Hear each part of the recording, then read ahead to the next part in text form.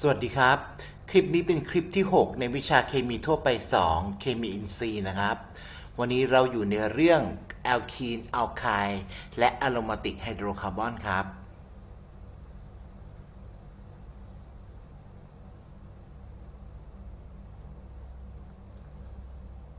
ครูลืมเปิดเวลาขออภัยนะครับ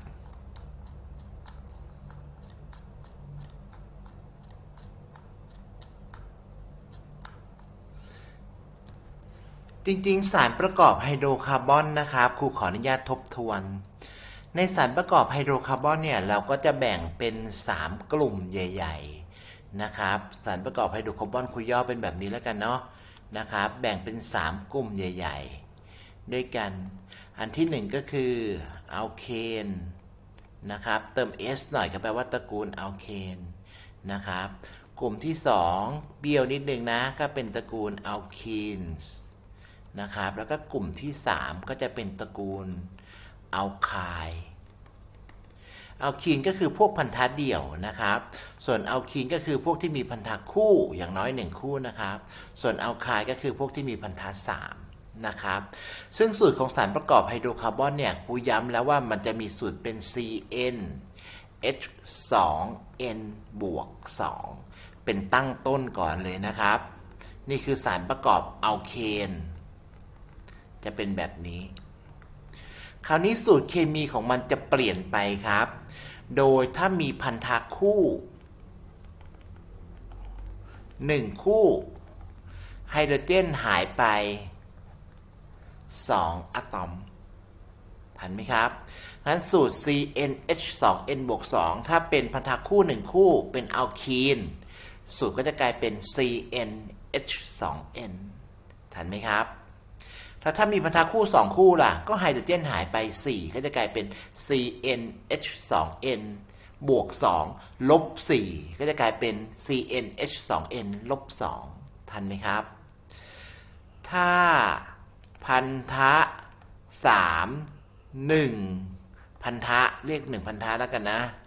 นะครับพันธะคู่ 1 พันธะแล้วกันนะเรียกเป็นพันธะดีกว่านะครับ เป็นพันธะ ไฮโดรเจนก็จะหายไป 4ถูกไหมครับ วง 1 วง ไฮโดรเจนหายไป 2 นะครับ เพราะฉะนั้นสมมติสารตัวนี้ เห็นไหมครับ C6 ถูกไหมครับ ไฮโดรเจนปกติ 6 2 12 13 14 ถูกไหมครับ วง 1 วงพันธะคู่ 1 คู่ก็ต้องลบ 2 แล้วก็ลบอีก 2 กลายเป็นลบ4ถูกไหมครับ มันก็จะกลายเป็น C6 H10 จริงไหมตัวนี้มีไฮโดรเจน 1 ตัวไฮโดรเจน 1 ตัว 1 อะตอมนะครับ คนนี้2นะครับ 2 3 4 5 6 7 8 9 10 เห็นไหมครับ งั้นเริ่มต้นครูให้คำนวณเป็น CN H2N บวก2กันนะครับแต่ถ้ามีพันธะคู่ 1 พันธะก็ไฮโดรเจนหายไป 2 พันธะ3 1 พันธะก็ไฮโดรเจนหายไป 4 วง 1 วงไฮโดรเจนก็หายไป 2 นี่คือสูตรเคมีของสารประกอบไฮโดรคาร์บอนทั่วๆไป มาพูดถึงสารอะโรมาติกนิดนึงครับอะโรมาติกอะโรมาติกตัวนี้คือตัวเบนซีนเลยเนี่ย นะครับ ซึ่งเหมือนเราเคยจะพูดกันไปแล้วนะครับงั้น C6 6 2 12 13 14 นะครับ วง 1 วง ไฮโดรเจนหายไป 2 นะครับ พันธะคู่ 3 พันธะก็ลบ2ลบ2ลบ2เห็นไหมครับ นี่คือวง 1 วง พันธะคู่ 3 พันธะ 2 4 6 8 14ลบ8เดี๋ยวเท่าไหร่ครับ 6 ก็จะกลายเป็นสูตร C6 H6 เห็นไหมครับ ไฮโดรเจนก็ประกอบด้วยคนนี้ 1 2 3 4 5 6จำได้ไหมครับว่าคำนวณยังไง ก็เสมือนเราอยู่ตรงนี้นะครับ แล้วก็เกิดพันธะไปแล้ว 1 2 3 ก็เหลืออีก1เห็นไหมครับไฮโดรเจน 1 2 3 4 5 6 โอเคนะครับสำหรับสูตรเคมี สารประกอบอัลคีนครับ ก็คือพวกที่เป็น unsaturated hydrocarbon นะครับ มีพันธะคู่อย่างน้อย 1 พันธะ สารตัวนี้คู่เรียกมันว่าอัลคีนนะครับ ซึ่งอัลคีนเนี่ยจะมีคุณสมบัติอันหนึ่งที่สำคัญก็คือทำปฏิกิริยาการเติม ครูขออนุญาตทบทวนนะครับ ขออนุญาตทบทวนนะ ถ้าเป็นสารประกอบไฮโดรคาร์บอนที่อิ่มตัว หรืออัลเคนนั่นแหละนะครับ เขาจะฟอกจางสีโบรมีนครับ เมื่อมันร้อนหรือในที่ที่มีแสง อันนี้ของครูแทนสัญญาว่ามีแสงนะครับ เพราะว่ามันต้องเกิดการแตกออกของพันธะ แบบโฮโมไลติกคลีฟเวจถ้าว่าไปนะครับ ถ้าเรียนสูงไปก็แตกตัวแบบนี้นะครับ ก็จะได้เป็น radical เห็นได้ไหมครับ กับตัวนี้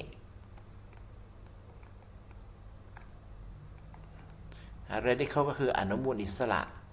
นะครับ แล้วก็บวก เห็นไหมครับโบรมีนก็มีอย่างนี้อยู่ 2 อัน ก็ทำปริยารวมตัวกันนะครับเนาะ termination ก็จะกลายเป็น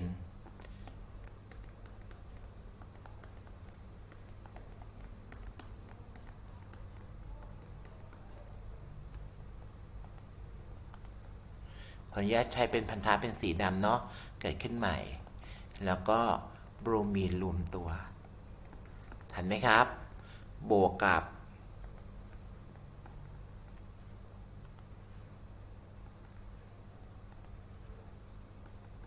ซึ่งเราจะสังเกตเห็นได้เพราะว่าตัวนี้เป็นแอซิดแก๊สนะครับเป็นแก๊สกรดก็เปลี่ยนสีกระดาษริสมาจากน้ำเงินไปเป็นแดง ทันไหมครับ นี่คือการทดสอบทั้นสารประกอบอัลเคนสามารถฟอกจากสีโบรมีนได้นะครับ แต่ว่าในที่ที่มีแสงนะครับ เกิดปฏิกิริยาการแทนที่ได้แก๊สกรด แต่ถ้าเป็นอัลคีนล่ะ สารประกอบอัลคีนครูสมมุติเป็นตัวเอทิลีนแล้วกันเนาะนะครับทำยากับโบรมีน เห็นไหม ครับ เห็นไหมจะเกิดปฏิกิริยาการเติมครับเมื่อกี้คือปฏิกิริยาการแทนที่นะ การแทนที่นะ ส่วนปฏิกิริยาข้างล่างปฏิกิริยานี้เรียกว่าการเติม เห็นไหมครับ อันนี้แทนที่ชัดเจนอยู่เห็นไหมนี่ไงแทนที่คนนี้ แทนที่คนนี้ ด้วยคนนี้อย่างนี้เรียกแทนที่เนาะนะครับแต่นี้ไม่มีใครหลุดออกมานะแต่ถูกเติมเข้าไปนะครับ ขออนุญาตวาดแบบง่าย ๆ แล้วกันนะไม่สนใจตำแหน่งแล้วกันนะครับเอาแบบง่าย ๆนะ ให้เป็นเข้าใจในเบื้องต้นก่อนนะครับ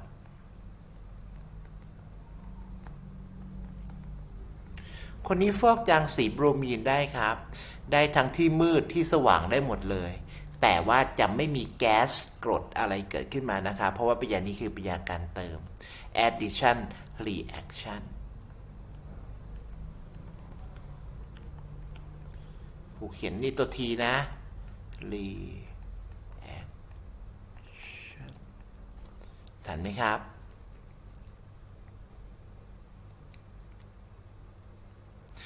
ส่วนโพแทสเซียมเปอร์แมงกาเนตก็สามารถฟอกจางสีได้เหมือนกันครับ กับพวกที่เป็นสารประกอบอัลคีนนะครับครูไม่เขียนให้ดูและ เห็นพันธะคู่นี้เนาะนะครับ ก็จะเกิดปฏิกิริยาออกซิเดชันได้เป็นสารประกอบที่เรียกว่าไกลคอลไกลคอลก็คือสารที่มีหมู่ไฮดรอกซี2หมู่อยู่กับอะตอมคาร์บอนที่มันติดกันนี่คาร์บอนตัวนี้ตัวนี้อยู่คู่กันเลยนะครับ สารประกอบนี้เรียกว่าสารประกอบไกลคอล ทันไหมครับงั้นถ้าเป็นอัลคีนสารประกอบอัลคีนนะครับ เกิดปฏิกิริยาการเติมได้ เกิดปฏิกิริยาออกซิเดชันของโพแทสเซียมเปอร์แมงกาเนตได้ ฟอกจางสีโบรมีนได้ ฟอกจางสีโพแทสเซียมเปอร์แมงกาเนตได้ โอเคนะครับ สารประกอบอัลคีนนะครับ 2 ตัวก็เรียกอีทีนเนาะ นะครับ มีคาร์บอน 2 ตัว มีคาร์บอน 3 ตัวก็เรียกว่าโปรพีนนะครับ ส่วน1บิวทีน1เพนทีนก็จะมีโครงสร้างเป็นแบบนี้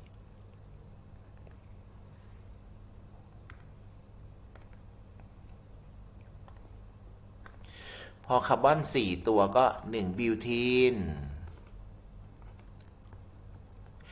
1 เพนทีน 1 เฮกซีน1เฮปทีนอย่างนี้เป็นต้น ซึ่ง 1 ก็คือ เราจะไล่ตามจำนวนคาร์บอนนะครับให้เจอพันธะคู่เป็นตำแหน่งแรกอันนี้ก็เป็น 1 2 3 4 แล้วก็เรียก 1 บิวทีน บิวเทอร์บิวเทอร์เนาะแล้วก็เติม e n e เข้าไป ตำแหน่งที่ 1 นะเพนเทอร์ก็เติม e n e เข้าไปนะครับเพนทีนโอเคนะครับ โอเคเนาะเดี๋ยวชื่อเดี๋ยวเรามาอ่านกันต่อทีหลัง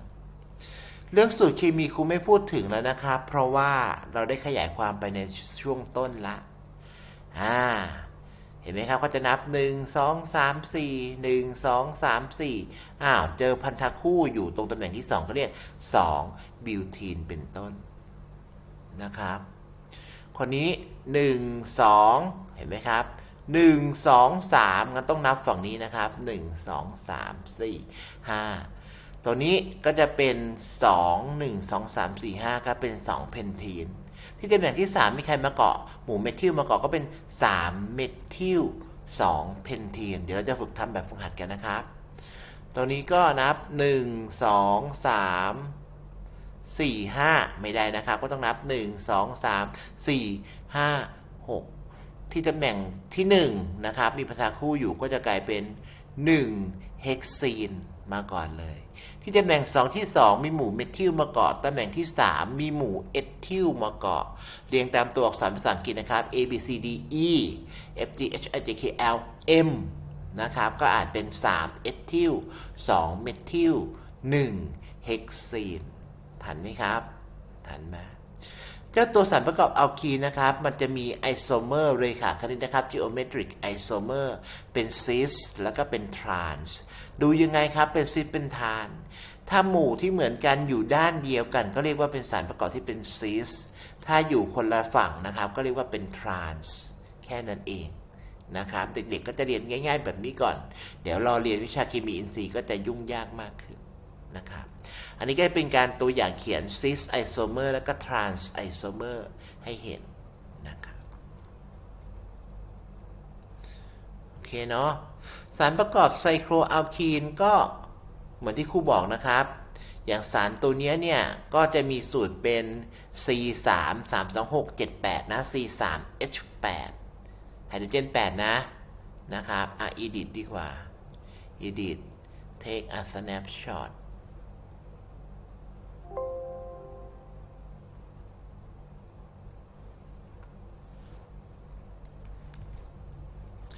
นะครับ ก็สารตัวนี้ควรจะมีสูตรเป็น C 3 3 2 6 7 8ถูกไหมครับ มีวง 1 วงไฮโดรเจนหายไป 2 มีพันธะคู่ 1 พันธะไฮโดรเจนหายไป 2 8ลบ4เหลือ 4 สูตรเป็น C 3 H 4ทันไหมครับ ตัวนี้ก็เหมือนกัน สูตรจะต้องเป็น C 4 4 2 8 9 10 ถูกไหมครับ มีวงหนึ่งวงไฮโดรเจนหายไป 2 มีพันธะคู่หนึ่งพันธะไฮโดรเจนหายไป 2 10ลบ4เหลือ 6 C 4 H 6โอเคเนาะสำหรับสูตรนะครับ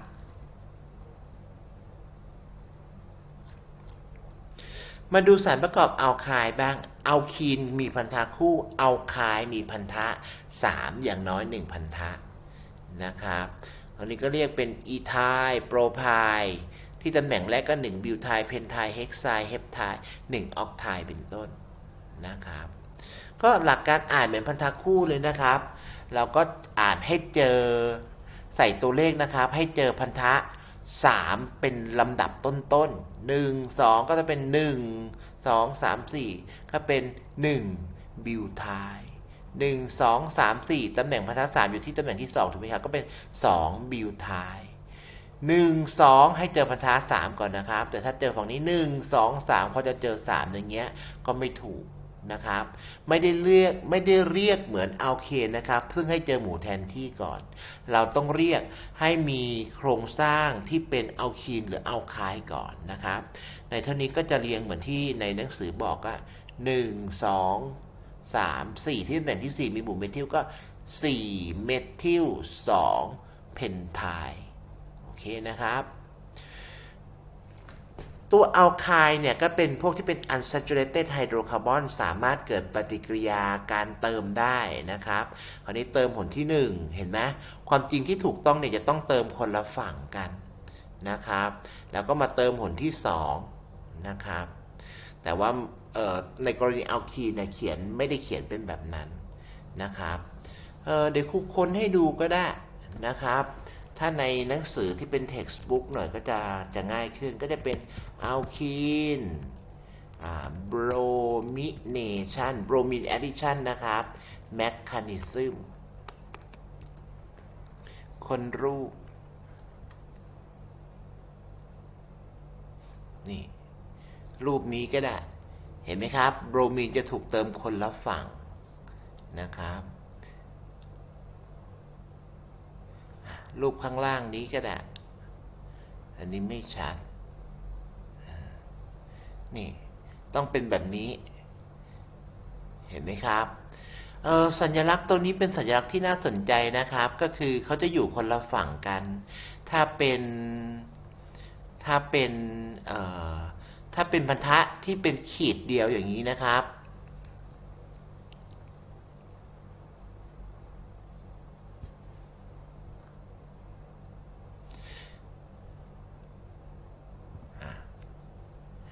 ถ้าเป็นขีดเดียวๆแบบแบบนี้นะครับ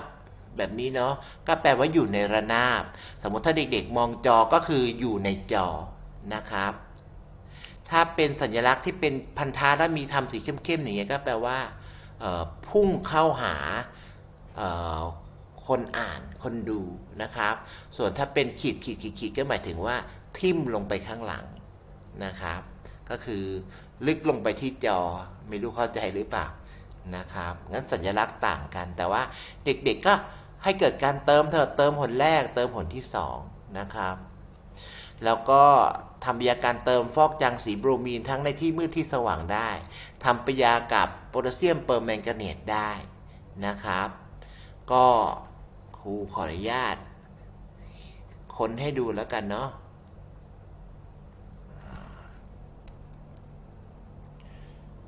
พิมพ์ยังไงดีล่ะ unsaturated KMNO4 oxidation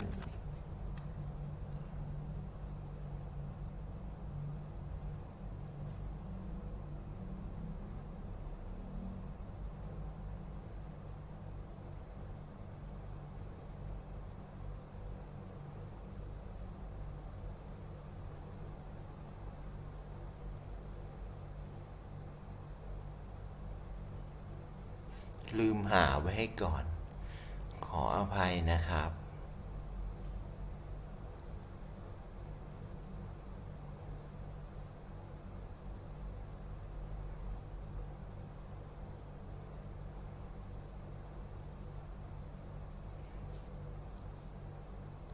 ไม่เอาละ ไม่หาละนะครับ ก็ดูตามนี้แล้วกันเนาะนะครับ ก็ออกซิไดซ์พวกที่เป็นอัลไคน์ให้กลายเป็นคาร์บอกซิลิกนะครับ จะสังเกตเห็นเอ่อ R C double bond O O H อ้าวคาร์บอนตัวนี้หายไปไหนล่ะ กลายเป็นคาร์บอนไดออกไซด์นะครับ กลายเป็นคาร์บอนไดออกไซด์นะ แต่ถ้าเป็นตัวนี้นะครับก็จะเกิดได้เป็นไดคีโตน คือครูอยากให้เห็นว่าตำแหน่งพันธะสามเนี่ยกับการเกิดออกซิเดชันเนี่ยมันสำคัญครูหาไม่ได้เจอ พิมพ์เป็นเอาคายเลยดีกว่า เจอไหม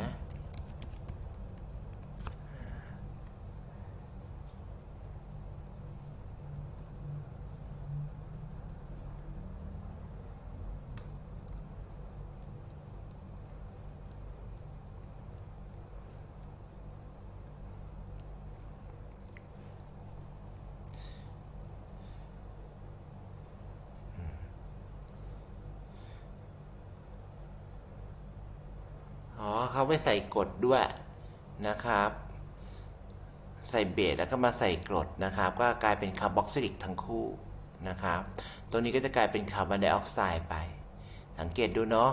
ขึ้นอยู่กับว่าเจ้าตัวคาร์บอนตรงตำแหน่งนี้ต่ออยู่กับใคร ถ้าต่อกับคาร์บอนตัวอื่น ก็จะกลายเป็นไดคีโตนก็ได้นะครับ แล้วก็ถูกไฮโดรลิซิสเพิ่มก็จะกลายเป็นคาร์บอกซิลิกสองฝั่งนะครับ แต่ว่าถ้าเป็น terminal คือเป็นที่หมู่ปลาย ฝั่งเนี้ยก็จะกลายเป็นคาร์บอนไดออกไซด์ไป ฝั่งนี้ก็จะกลายเป็นคาร์บอกซิลิกไป ทันไหมครับ ทันไหมถ้าไม่ทันครูเขียนเป็นการ์ตูนให้ดูหน่อยแล้วกันจะได้เป็นสี หาสีไม่เจอเนาะก็เป็น R R หมายถึงอัลคิลใดๆนะครับ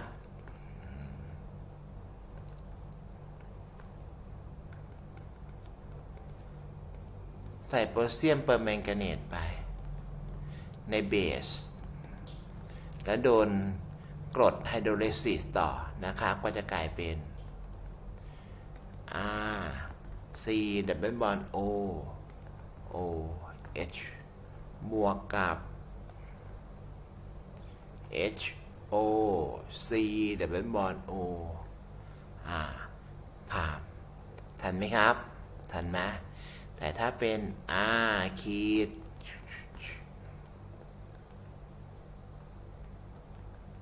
ตัวนี้ก็ถึงเรียกว่าเป็น internal หมายความว่าพันธะสามเนี่ยอยู่ภายในโครงสร้าง ตัวนี้ก็เป็น terminal หมายความว่าพันธะสามเนี่ยอยู่ที่ปลาย เหมือนเดิมนะครับเปอร์เซ็นต์เป็นแมกานีในเบสแล้วก็ใส่กรดนะครับ ตัวนี้ก็จะกลายเป็น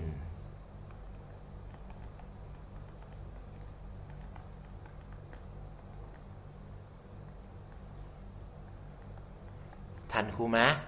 ทันครูไหมครับ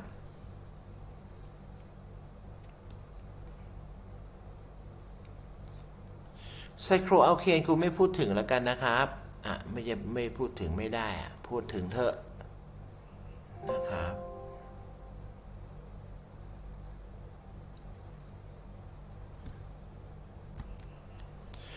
ก็เหมือนเดิมนะครับ อันนี้วงแปดเหลี่ยมเนาะหนึ่งสองสามสี่ห้าหกเจ็ดแปด วงแปดเหลี่ยมก็สี่แปดแปดสองสิบหกสิบเจ็ดสิบแปดสิบแปดวงหนึ่งวงไฮโดรเจนหายไปสองพันธะสามหนึ่งพันธะไฮโดรเจนหายไปสี่ก็เป็นหกก็เป็นสี่แปดสิบแปดลบหกเหลือ เท่าไหร่สิบสองสิบสี่ใช่ไหมครับสิบแปดลบหก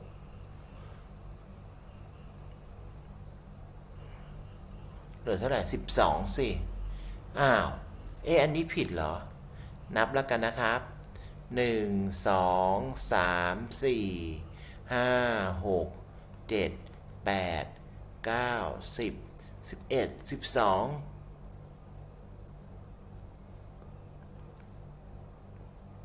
สิบสองนะครับ ใช่ไหมสิบแปดลบหกได้สิบสองเนาะครูไปเขียนตามเขา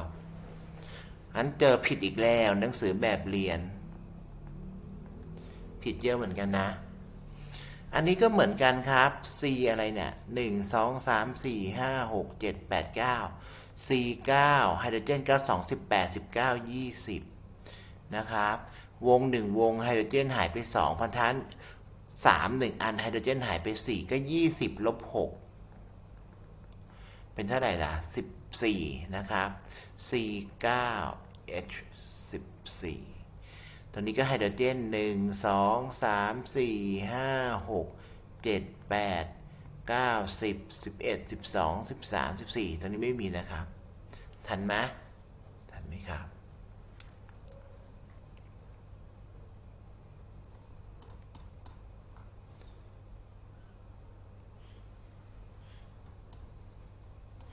มาดูสารอะโรมาติกกันบ้างนะครับ สารอะโรมาติกเนี่ยก็จะเป็นวงเบนซีนนะครับเป็นตัวแทนตัวอย่างให้เราแล้วกันนะครับ ซึ่งก็พบว่าพันธะระหว่างอะตอมของคาร์บอนทั้ง6เนี่ยมันยาวเท่ากัน ยาวเท่ากันก็แปลว่าคาร์บอนคาร์บอนเนี่ยมันไม่ใช่พันธะคู่อะคนนี้ก็คนนี้ไม่ใช่พันธะเดี่ยวถูกไหมครับ แต่ว่ามันสามารถเกิดการ resonance ได้เห็นไหมครับ พันธะคู่มันฟลิปไปฟลิปมาเห็นไหมครับ จากคู่กลายเป็นเดี่ยวจากเดี่ยว กลายเป็นคู่เห็นไหมครับ บางทีเขาก็เลยใช้สัญลักษณ์วงกลมแทนนะครับ เนื่องจากว่าอิเล็กตรอนสามารถเคลื่อนที่นะครับอยู่ภายในวงได้ นะครับ มันเลยมีผลทำให้พันธะระหว่างคาร์บอนทั้ง 6 มีความยาวเท่ากัน และความยาวเนี้ยก็จะอยู่ระหว่างพันธะเดี่ยวกับพันธะคู่ พันธะเดี่ยวคาร์บอนคาร์บอนยาวประมาณ 154 นะครับ พันธะ พันธะคู่ประมาณ 134 แต่ถ้าเป็นคาร์บอนในวงอะโรมาติกก็ 139 อยู่ระหว่างกัน โอเคเนาะ นะครับงั้นเราเขียนเป็นแบบนี้แบบนี้หรือแบบนี้ก็ได้ มันเกิด resonance นะครับ ใช้ลูกศรสองทางนะครับ สารประกอบอะโรมาติกที่มีวงหนึ่งวงก็เป็นเบนซีนนะครับสองวงก็เป็นแนฟทาลีน เป็นแอนทราซีนเป็นฟีแนนทรีนนะครับ เป็นวงสามวงเหมือนกันแต่ว่าตำแหน่งที่ต่อคนละแบบนะครับ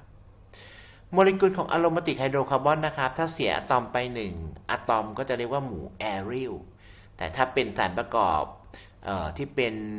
พาราฟินเป็นอัลเคนก็จะเป็นหมู่อัลคิลนะครับ โบรมีนสามารถเกิดปฏิกิริยา จริงๆ ต้องเรียกว่าปฏิกิริยาการ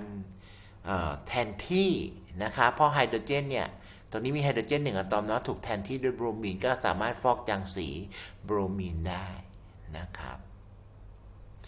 คลิปนี้น่าจะจบลงเพียงเท่านี้นะครับสำหรับการพูดถึงสารประกอบอัลคีน อัลไคน์แล้วก็อะโรมาติกส์แล้วเดี๋ยวเรามาทำแบบฝึกหัดกันนะครับ คลิปนี้จบลงเพียงเท่านี้ครับ สวัสดีครับ